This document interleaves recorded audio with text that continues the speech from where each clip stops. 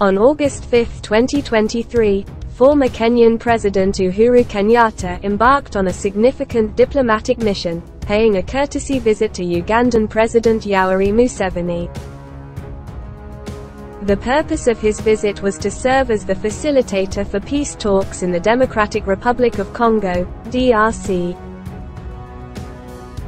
The visit was not only a symbol of diplomatic goodwill between Kenya and Uganda, but also highlighted Uhuru's commitment to promoting peace and stability in the conflict-ridden region. The office of the former head of state released a statement confirming the purpose of Uhuru's trip to Uganda.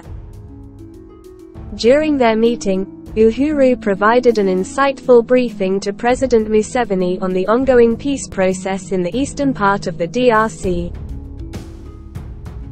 This indicates the strong collaboration and shared concern of regional leaders in resolving the conflicts that have plagued the area.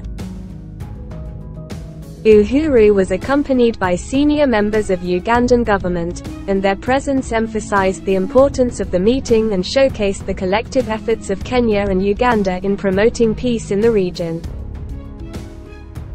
The statement released by Uhuru's office emphasized the broader context of the visit. It highlighted that Uhuru Kenyatta is not only a former head of state but also the facilitator of the East African Community, EAC, led Nairobi peace process. This demonstrates his pivotal role in regional peace initiatives and his dedication to fostering lasting peace and stability in the eastern part of the DRC. It is worth mentioning that Uhuru's role as a peace envoy to conflicted regions in Africa was appointed by Kenyan President William Ruto. President Ruto recognized Uhuru's commendable engagement in peace initiatives across Ethiopia and the Great Lakes region and entrusted him with chairing discussions on behalf of Kenya. This appointment further underscored Uhuru's reputation as a respected and capable diplomat with a proven track record in conflict resolution.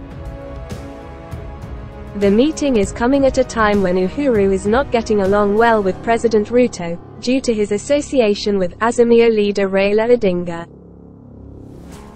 The meeting is also happening after the Kenyan government blocked the importation of Brookside milk from Uganda. Brookside is owned by Uhuru Kenyatta family. To get more news leave a like and comment below this video. Also don't forget to subscribe to the Kenyan News channel.